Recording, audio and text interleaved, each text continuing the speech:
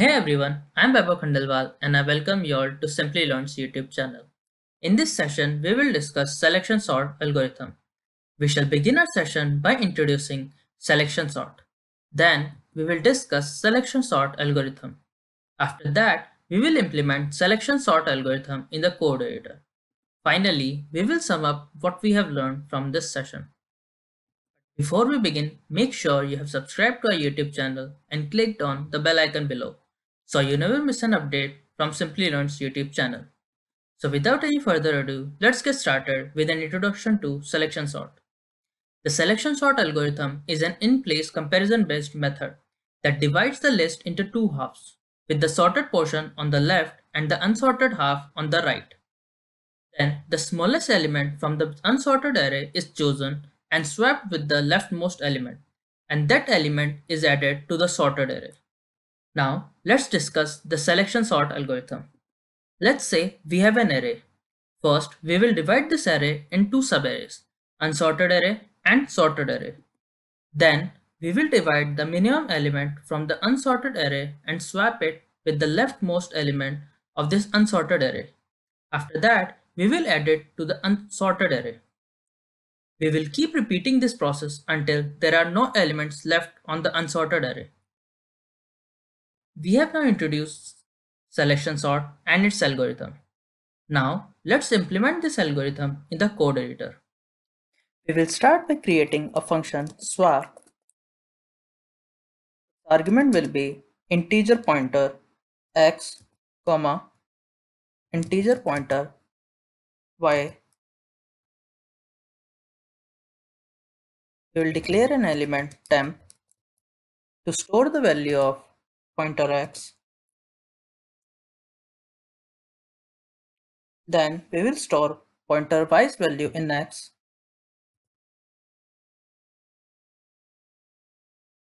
Then we will store temp's value in y. And that's how we can swap them. Next, we will write the definition of selection sort function. Void selection sort.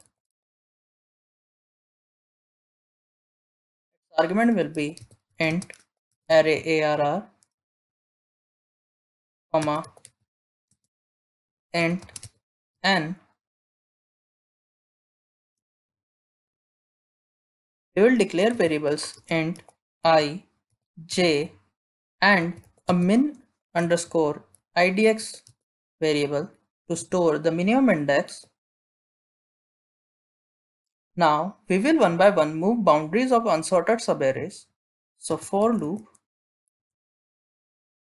i is equals to 0 where i is less than n minus 1 i plus plus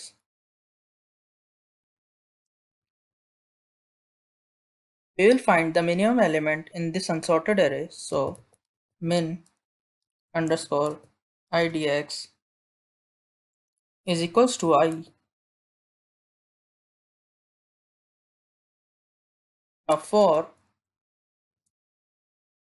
j is equals to i plus 1 j less than n. J plus plus.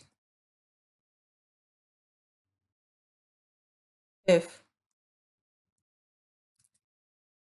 array element at jth location is less than array at the min index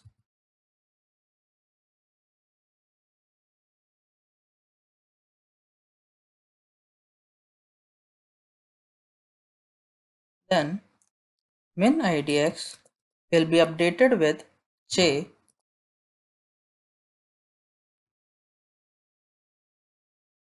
Now we will swap the found minimum element with the first element.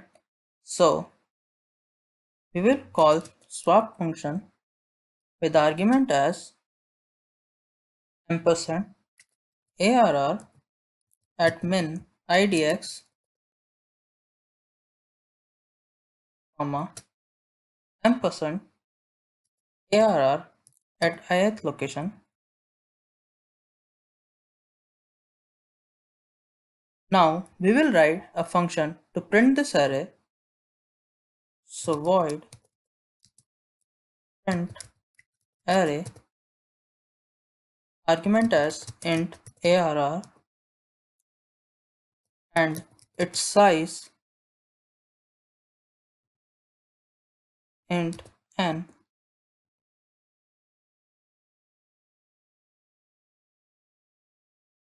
For loop int i is equals to 0 i less than. N. I plus plus. Out. Arr at i.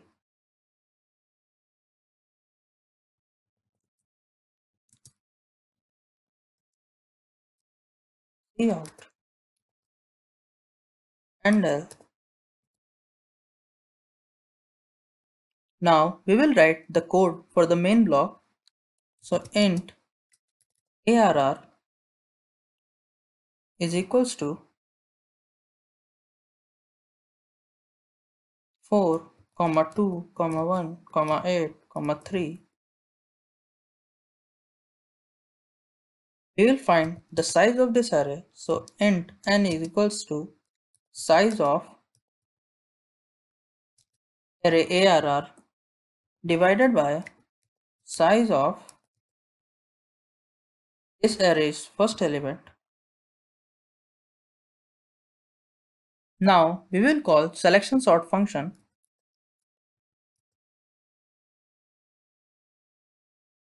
argument as ARR, comma n. Then we will try to print this. So cout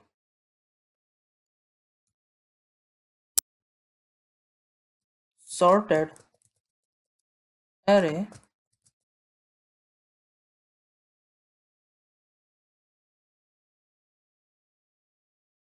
and we will call the function print array. To print this array. Arr comma n.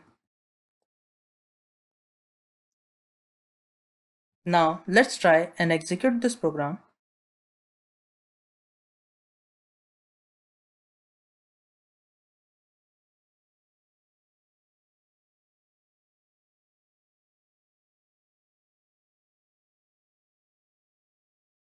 As you can see, we have successfully sorted this array using selection sort algorithm. Let's get back to our slides. At last, let's sum up what we have learned in this session. First up, the selection sort algorithm is a comparison-based in-place algorithm. Next, the selection sort algorithm is not appropriate for used datasets. Next up, selection sort have the worst complexity of big O of n square. Finally, it can be beneficial when memory write is an expensive procedure. And this was all for today's session. Hope you guys found it informative and helpful. If you liked this session, then like, share and subscribe. If you have any question, then you can drop them in the comment section below. Thanks for watching and stay tuned for more from Simplilearn. Hi there, if you like this video, subscribe to the Simplilearn YouTube channel and click here to watch similar videos. To nerd up and get certified, click here.